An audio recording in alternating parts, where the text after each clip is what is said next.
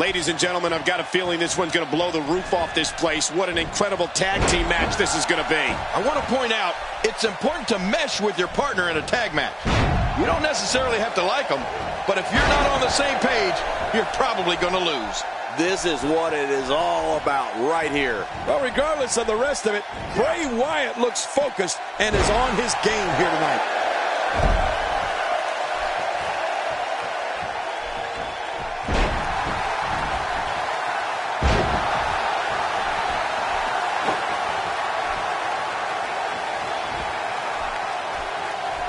I don't remember the last time he executed that maneuver.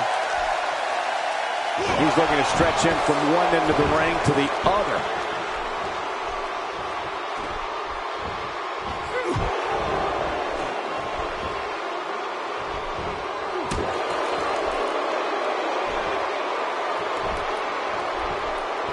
He's starting to feel it here.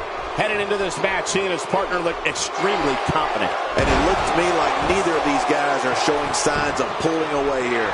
And on top of that, John, these two guys couldn't be any more evenly matched at this point.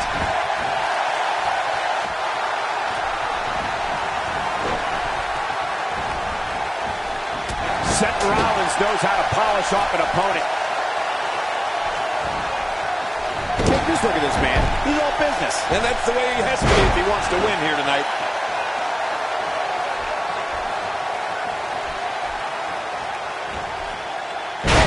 You think he feels awful now? He's going to feel a whole lot worse in the morning. Yeah, it's going to be tough to crawl out of the bed tomorrow.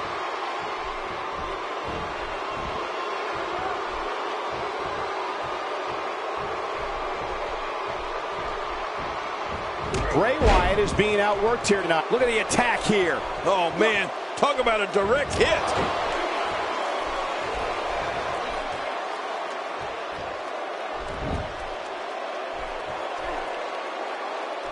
Expanding the repertoire with that move.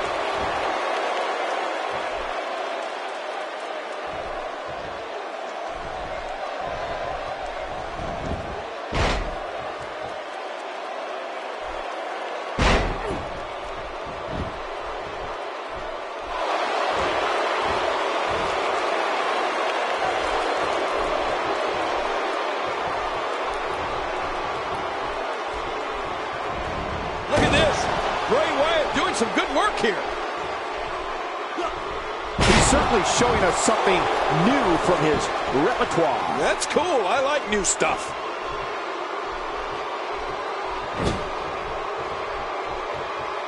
Bray Wyatt's legs are looking weak right now. He could be on his way out of this one. I wouldn't be surprised if he just passes out right here. You said it, Michael. This is absolutely not where he wants to be. And he's got to know full well that he can't let his opponent build any more from this momentum he's on.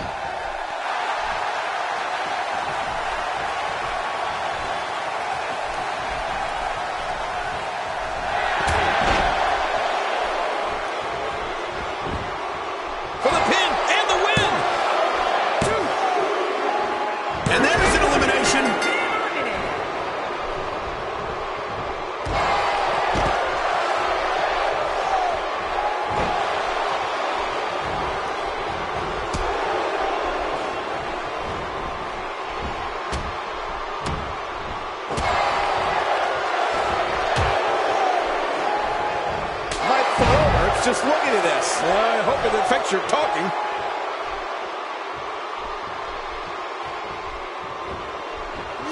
If his back wasn't hurt before, it certainly is now. And it's going to be hurting for a while.